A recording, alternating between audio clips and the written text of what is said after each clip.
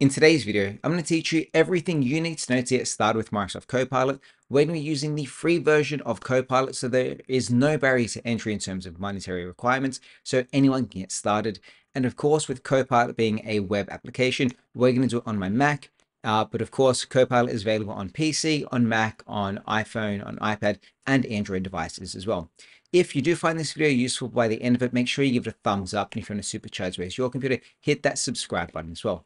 That being said, let's get into this. To really help create some structure to today's video, I've got a little breakdown. I'm going to bookmark all of these in the chapters uh, of this video. But you're going to see we're going to go through things like accessing Copilot and searching, looking at conversations and topics, different input methods, of course, chat history and plugins, which are really quite cool, analyzing things like web pages, analyzing a PDF document, creating a song, creating an image, and so much more. Uh, but the first thing we're going to learn is, of course, how you can access Copilot. I'm going to open up Microsoft Edge and I'm going to head over to copilot.microsoft.com. From here, this is the basic layout of Copilot. Uh, but what I'm going to recommend you do is in the top right hand corner, there is the button to sign in. And if you sign into Copilot, you get more turns and you get a uh, more conversational history with Copilot, as well as a few extra features, and it can follow you across your different devices. So we're going to select on sign in and then you can choose to sign in with a personal or a work account. I'm going to go personal. It's going to take us to the sign in page here. I'm just going to select on my account and I'm going to sign on in and I'll say, yes, let's stay signed in. So it's really easy. All you need is a Microsoft account to get started. And now you can start using Copilot. In the Edge browser here, there's actually two ways you can work with Copilot. The first one, of course, is the website copilot.microsoft.com. But of course, in the top right hand corner, there's also this little Copilot button that we're going to go through in a bit. The cool thing about this Copilot button is you don't have to be on this website. You can be on any website and you can still quickly access it by using this button here. But we'll go through that in a little bit. For now, let's go through the basics of Copilot. Uh, in the top left-hand corner, you have the Copilot and the Notebook button. The notebook button is really there. It's in preview, as you can see down the bottom here. But this is really right now, I believe, for developers that want to have a lot longer conversations with Copilot. Uh, and we're not going to worry about that today. We're simply going to work on the Copilot option. Down the bottom, you have your little input, which is where you can have new topics and new conversations with Copilot. And you can start talking to it by saying, what are the features of Copilot? There was a few uh, typing errors there, but of course you can type into this here uh, and it will start creating some responses for you. You can hit the stop responding button. I'm going to let this one run um, just so I can show you a few features as well. Uh, so I'm not going to actually change around what um, what happens here. That was an error with Copilot. So uh, it started pulling an answer, then it for some reason bugged out, which actually hasn't happened before, but let's ask that question one more time. And I'll also teach you some features here along the way. So if you want to select or copy something, you can just choose on that piece of text. And if it's something you've input, you can use the copy button, you can rewrite, or you can use search Bing, which is basically Microsoft's version of Google. If you want to get a Copilot answer, you can of course give it a thumbs up or a thumbs down, say this answer is good or bad. You can copy that answer. You can export that answer to a Word, PDF, or a text. Uh, and then, of course, you can share it as well. So even though it made a mistake here, that's okay. I'm going to hit the rewrite button and I'm going to change this to Copilot and I'll try to get the answer one more time. So it's going to start responding here. As the answer pops up, I'll also walk you through on the right hand side here there's actually five pre-installed Copilot GPTs or language models. Um, down the bottom, you can see your recent histories where you can, of course, edit the name of that, that history. You can choose to save or delete a name change. You can delete it or you can select on the ellipses to share or export it. I'm going to actually delete it for now, uh, but that history does follow you along. Uh, what you'll see here is you can also choose the conversational style. So do you want Copilot to be more creative in its response? Do you want it to be a balanced or a precise response? Uh, and then, of course, there are a few different input methods as well. What we saw before was I typed into it, but you can actually choose to add an image or even use the microphone. Uh, I'm going to say add an image, and you can use to either upload one from your computer or you can take a photo. If I go take photo, it's going to ask to use my camera. This isn't that handy on a laptop, but if you were using, it on another device like an iPad or an iPhone, you could definitely use that camera to take a photo of something and then ask it a question about it. Um, or you could use the microphone. So if I go use mic, can you tell me the three best features of Microsoft Copilot on the web? And hit submit. So you can, of course, talk into it instead of always having to type out your responses as well. Sure, here are three key features of Microsoft Copilot. AI-powered writing assistant. It, Microsoft Copilot, is an AI-powered writing assistant that helps with spelling, grammar, the, uh, the clarity, and readability. It can help you be more productive, get your documents and presentations started more quickly, and help you quickly glean insight. And then, of course, there was that little, uh, if I click on the system anywhere, it will stop Copilot from talking. But because I spoke into it, it will dictate the answer back to me. And if I want to play it again, I can select on that read aloud. Now that we have an answer from Copilot here, what you'll see is that everything that it pulls from, it actually links those um, those resources, which are marked down the bottom here. So here's our, our six resources. One thing to note is that when we're using the free Copilot, you have up to 30 turns or conversational styles with Copilot. So you can, of course, ask, uh, I have a dialogue up to 30 turns here. Um, and then it does give you some prompts as well. So how does Copilot compare to other assistants? What are the system requirements? Or we could even select and show more learning suggestions. And this will give us more ideas.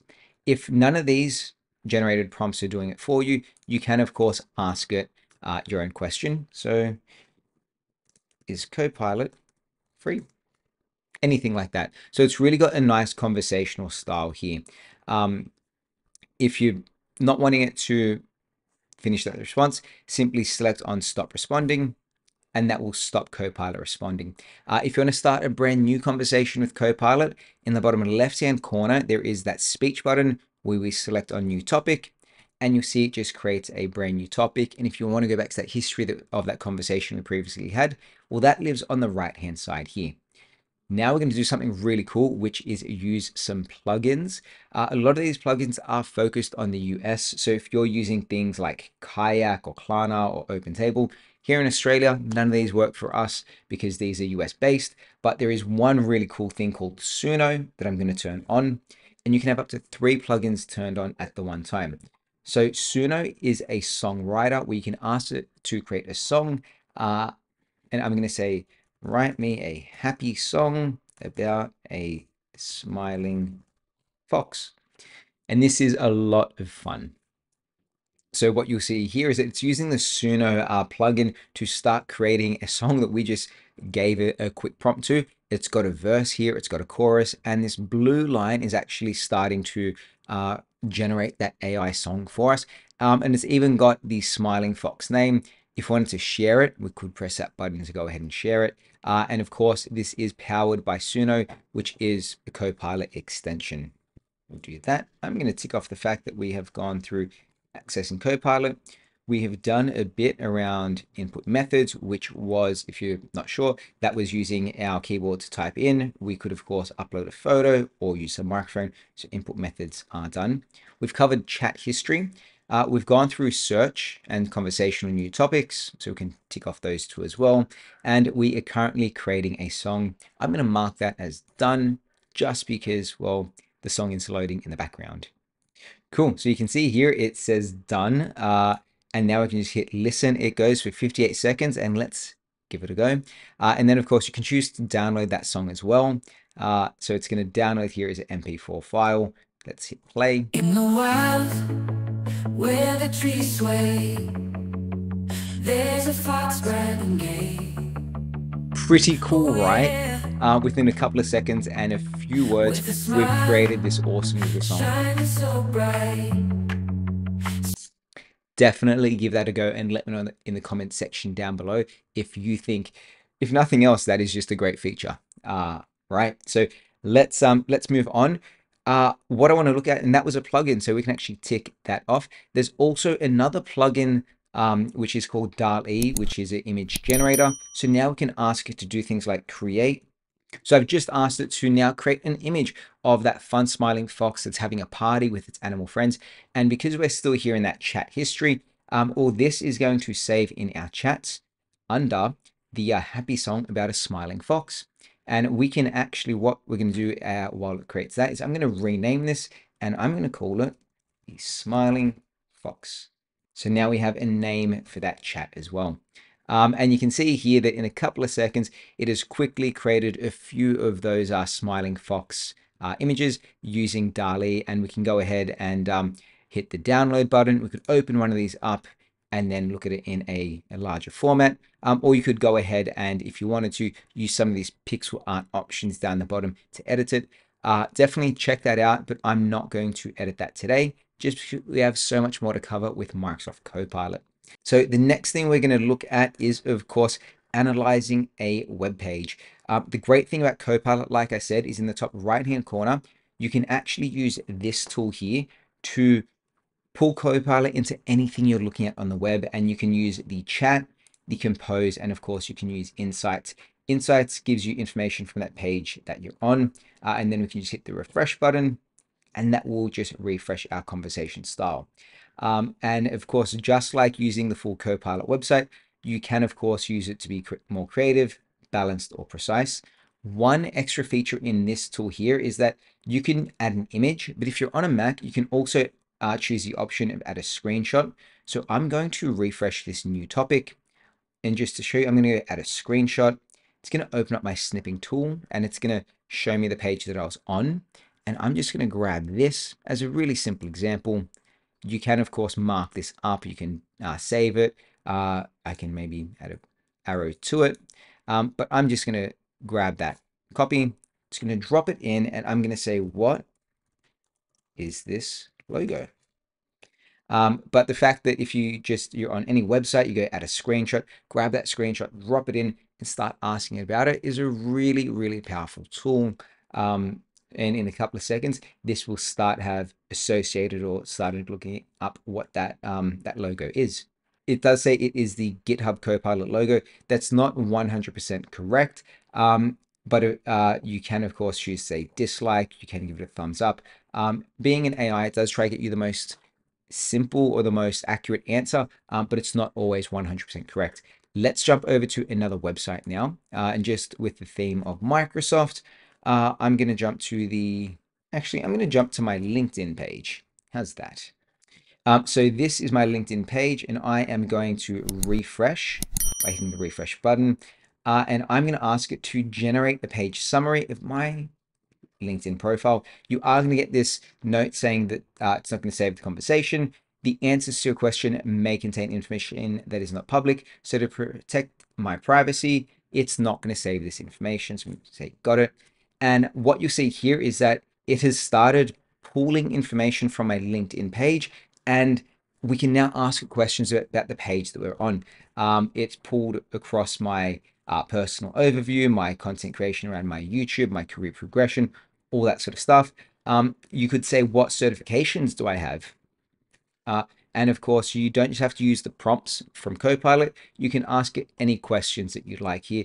But any website you're on, or almost any website, you can just open up that Copilot button and then you can start asking it questions about that page that you're on, which is really powerful because it, it gives you someone to chat with or something to chat with to check the information and of course extract um, information about what you're currently working on.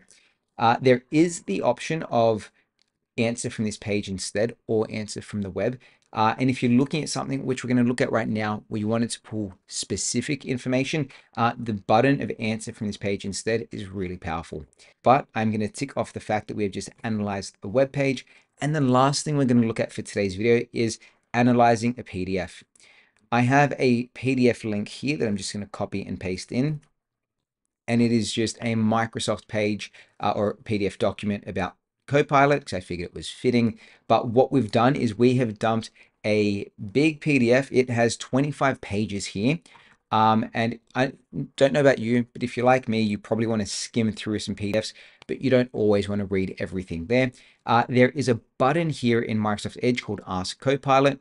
If we select on Ask Copilot about this file, Copilot on the right hand side is going to pop back up. I'm going to refresh and create a brand new topic. And I'm going to say from this file, what are the key messages about Copilot? And then instead of saying searching from the web, it's going to say searching from your uh, your page for information. So it's not pulling from the web anymore. It's pulling from that PDF document that we've loaded up in Edge. Uh, and it's grabbing information about, uh, it tells you the key messages about Copilot from this ebook series are, and it's giving us answers straight away. So it allows you to quickly analyze the, um, the page that we're on.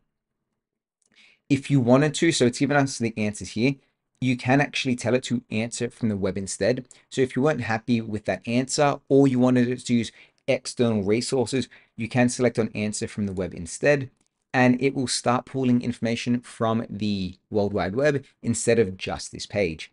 Uh, so it's great that it gives you both options here. I'm going to stop that for now because I'm going to ask it another question. And I'm just going to show you how accurate this is on, on this page here, it actually has these six use cases uh, of Copilot in your day-to-day -day work. I'm going to ask it from this document, what are the six use cases of how Copilot helps? So just because I'm on this page right now doesn't mean it's going to refer directly to it. It's still going to read the entire 25 pages, but let's see if it knows that we are actually talking about this section here. And you can see here it says the six use cases are automate data and analyze in Excel, which is tip one, efficiently use uh, Outlook, which is there, improve document creation in Word, which is number three. Uh, number four is automation in Teams, improve PowerPoint. And number six is improve data visualization in Excel.